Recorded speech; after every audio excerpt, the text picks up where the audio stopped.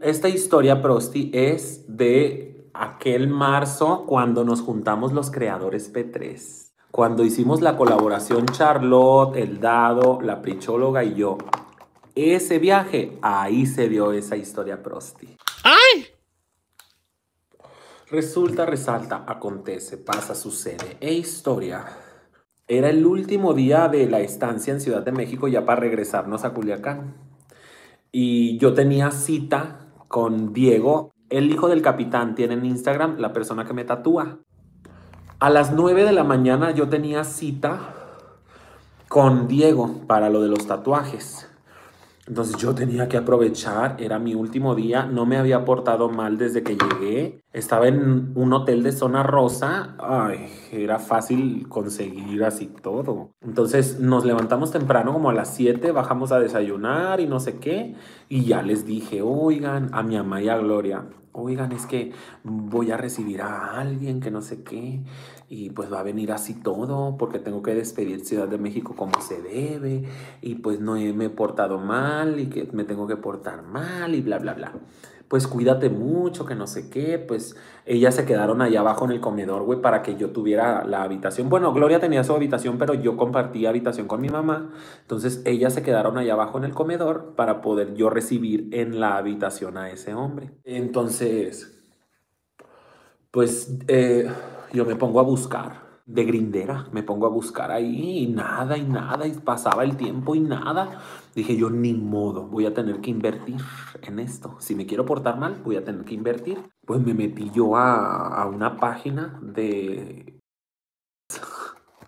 y ya le mandé a un tipo que se veía muy bien ahí en las fotos. Se veía muy nice, que cuerpo muy nice, tenía un así todo y estaba guapo según. Entonces yo me subí a la habitación y le marqué, oye, que no sé qué, que dónde está. No, pues estoy a cinco minutos de zona rosa caminando, que no sé qué. Y yo, ah, pues sí, Kyle, que en recepción así, así. Yo marqué a recepción, oiga, para darle acceso a una persona, tiene que bajar por él. Y yo, oh, pues en lo que no bajaba, él ya había llegado y había dicho cosas en recepción entonces me puso ahí, hey, ya estuve ahí, ya me fui, que no sé qué, no saliste. Yo le dije, espérate, ahí voy para allá. Pues ya bajé el, el, ascensor y bajé y me dijo el guardia, oiga, es que viene un tipo a buscarlo y quería pasar y venía muy alto, venía así como que muy alto, no sabemos si trae algo y pues usted peligra, no se vaya a poner en esas. Ay, yo dije, ay, no pasa nada, le dije, no, que no sé qué. Es que venía muy, muy exaltado, muy exigente, dice. ¿Y, ¿Y qué les dijo? No, pues que venía a su habitación a darle un... A, a darle un servicio. ¿Pero qué servicio? A un... Que venía a darle un ay, qué quemazón, me quemé con el recepcionista, con el otro recepcionista, con el gerente de la recepción, con el guardia, con el otro guardia, con huéspedes que estaban allá abajo, güey, me di un quemazón. Pues ya yo salí, güey, y estaba viendo para los lados y así, me puse a un así todo. Y voy viendo allá, güey, que viene un hombre y me hace así. Ay, amigo, una piltrafa humana. Una piltrafa, güey. Seco, seco, viejo, feo, viejo. Y se veía cochino. Pero se le veía así. Oh, sí, amigo, sí. Apuntaba, güey. Me apuntaba ese hombre, güey. Entonces yo dije, ay, pues ya está aquí. Ni modo de decirle, no, pues vete y me meto. No, pues lo saludé y ya pasamos. Abrió el guardia, pasamos. Todos se nos quedaron viendo en la recepción, güey. Todos, todos, todos, güey. Viejo, feo, cochino y así como que... qué rollo. Así, güey. Ay, no, Gloria y mi mamá ahí estaban sentadas en recepción, nada más nos vieron pasar y Gloria así. Y mi mamá así.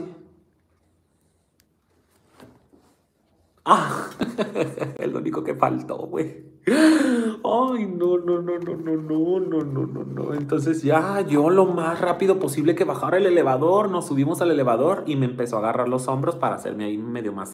El guardia me había dicho, si gusta yo lo corro, que no sé qué, no, no, no se vaya a exponer así. Yo le dije, no se preocupe, no pasa nada. Yo le dije al guardia, él no sale de aquí sin mí. Así son las cosas. No sale de aquí sin mí. Me quiere robar, me quiere hacer algo, lo que sea, tiene que salir por recepción. Si me hace algo, lo meten al entonces, él no va a salir de aquí sin mí. Yo soy su llave de entrada y su llave de salida. Entonces, pues ya subimos, llegamos a la habitación y yo le dije, a ver, pues le dije, ¿qué, qué traes? O sea, que se el asunto. A ver, vístate, le dije. Pues ya atrás, nunca tu madre así, güey. Nomás se des salón así, güey. ¡Ay! ¡Ay! Me convertí en mujer. Me convertí en mujer, amiga. ¡Ay! Una madrezona, güey. Colgada. Era Team Carne ese tipo. Ese tipo era Team Carne. Entonces ya se puso ahí en la pared. Me dijo, ven. Y ya yo me acerqué tantito y lo empecé a oler. Y no, no iba pestoso, la verdad. Se veía cochino, pero no, no era cochino. Y si iba olorosito, pues a mí me gusta, güey, que vayan. Ay, a mí me gusta. Entonces, pues yo ahí, así sentado, güey. El tipo ahí en la pared. Y, y yo me puse así y empecé, güey. empecé y dale y dale. Como que el tipo iba bien. Güey, porque nada Nada, nada. Pasó un minuto, la verdad, un minuto y medio, dos minutos quizá, cuando nada, nada, güey, yo así de... Pues estaba grandota la cosa, por eso estaba haciendo yo maniobras, pero pues flácido, güey, flácido. Ya eran como las ocho y media, güey, según yo me iba a tardar 15 minutos en eso y ya me iba a desocupar. Dije, güey, le dije, la neta no, no traigo mucho tiempo, le dije, tengo una cita, le dije, pues ¿Qué pasó? No, güey, es que hacía las carreras, no, que no sé qué.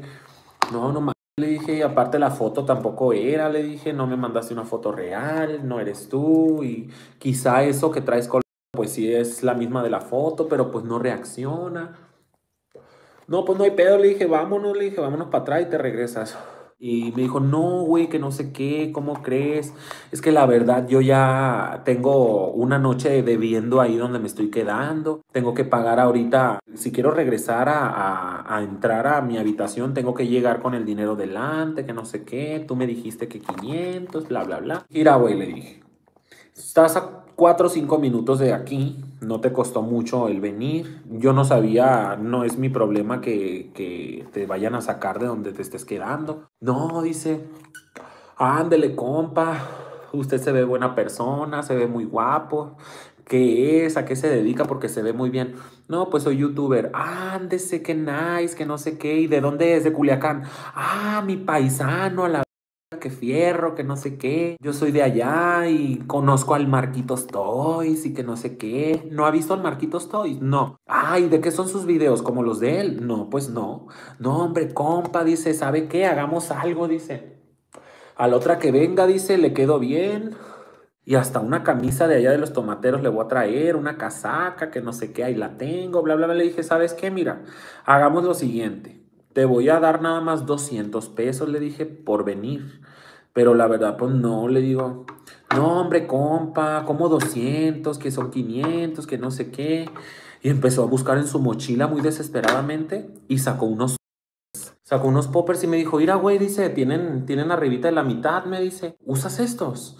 ¿Qué tal si te los doy y así me los transfieres los 500? Me dijo. Y yo para ya sacármelo de encima, güey, ya dije yo. Está bien, le dije y agarré los y los metí a mi mochila. Entonces me dijo, eh, güey, pero nomás hazme un paro, dice, ando medio así, dice, déjame bañarme, dice, y ponerme un poquito perfume y ya irnos, ¿o qué? Ah, está bien. Pues se metió, se pegó un baño, salió, le alisté perfume y desodorante, pues ya lo llevaba, se puso y lo metió a su mochila. Le dije, eh, le dije, es mío. No, jajajaja, ja, ja, ja, es mío, dice, ahí tienes el tuyo. Y me puse a buscarlo y me dijo, no, mentira, güey, ¿para qué te hago la maldad? Dice, ahí te vas a dar cuenta y ya me aventó el desodorante. Y le dije, el perfume sí te lo puedes quedar, era un frasquito así chiquito, ya le quedaban como para tres veces nomás. Ah, muchas gracias. Pues ya, salimos de la habitación, bajamos y le dije yo al tipo, por favor, sal del hotel. Le dije, no te quedes en recepción, sal y yo voy a salir a darte el dinero. No, güey, no me salgas con esas, que no sé qué. Mira, güey, le dije, yo tengo palabra, le dije, créeme, sal del hotel y yo te... Y sí, yo tenía pensado hacer eso, pero para no hacer quemazón. Pues bajé, todavía había gente, ahí estaba mi mamá y Gloria. Los de recepción así, güey, nomás no vieron salir, se nos quedaron viendo, el guardia más, todos todos se dieron cuenta. Y no salió de recepción, se quedó ahí a un ladito, güey, esperando. Y ya fui con mi mamá. Mamá, le dije, trae 500 pesos. Y se me quedó viendo y sí. Ah, le dije, es que pues no pasó nada, ahorita les cuento. Dame un cigarro también, le dije a la Gloria, dame un cigarro. Sacó un cigarro como para que se viera que le estaba dando un cigarro, pues.